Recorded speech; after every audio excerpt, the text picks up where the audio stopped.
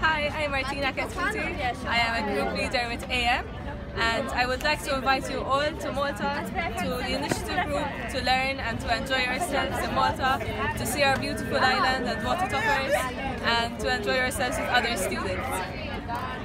Bye.